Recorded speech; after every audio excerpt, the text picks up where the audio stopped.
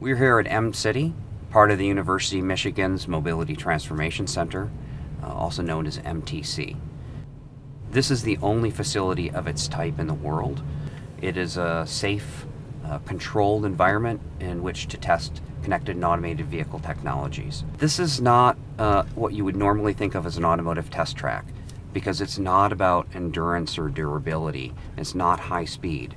It's about dealing with the complex real world scenarios that autonomous and automated vehicles are going to have to contend with.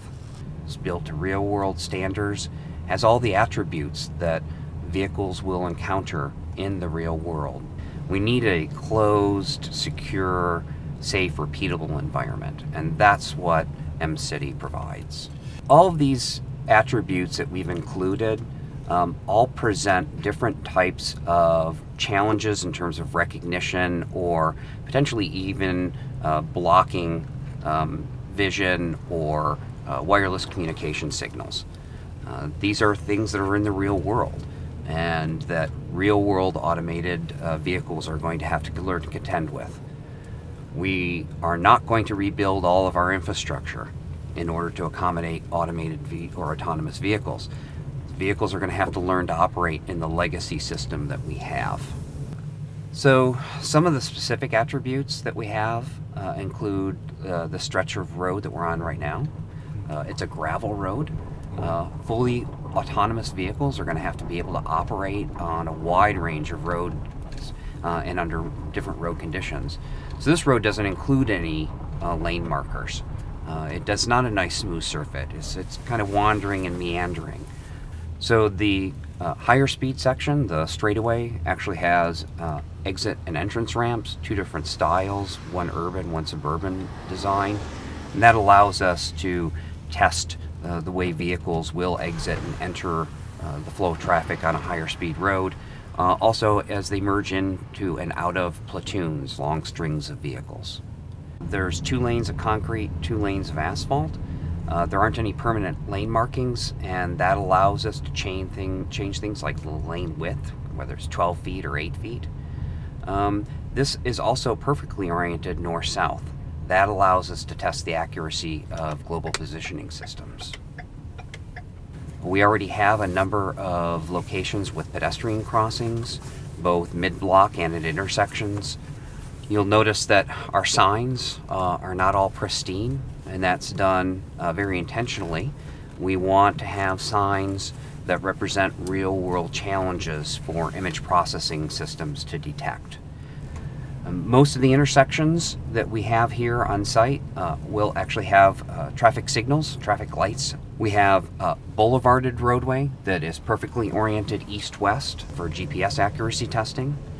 Um, we have parking spots, parking meters, um, parallel parking, diagonal parking, uh, and uh, stall parking like you might find in a parking lot. We have a downtown area here with these building facades uh, using real world building materials, including glass, brick, wood, aluminum, vinyl, because different sensing technologies that the manufacturers use will reflect off of these surfaces differently and produce different results uh, we have a simulated underpass uh, slash tunnel. This allows us to test the effects of blocking wireless signals like global positioning system signals as well as wireless vehicle-to-vehicle communication. Uh, we have uh, an active railroad grade crossing so there's gates and lights uh, and real rail track installed. Uh, we have a simulated tree canopy where we'll test the effects of blockage of wireless uh, and GPS signals that you would find on a suburban street with large uh, older trees branches covering the roadway. We have four-way stops. Uh, we have lighting throughout the facility with different types of lighting sources. We have these um, decent size uh, asphalted, flat asphalted areas. This will allow us to design uh, and configure intersections uh, and parking areas that we don't otherwise have represented in concrete and asphalt already. We have real world attributes such as mailboxes, uh, fire hydrants, park benches, parking meters, uh, everything that an autonomous or automated vehicle is going to have to contend with in the real world. We have obviously a mix of concrete and asphalt. Uh, we also have some uh, concrete that is stamped like a brick road. This is an investment uh, on the part of the university um, and the state of Michigan, uh, Michigan Department of Transportation. Uh, it did not use corporate funds, although we have many corporate sponsors in the Mobility Transformation Center. But this facility was deemed to be so necessary that the university and the state were willing to invest in its construction.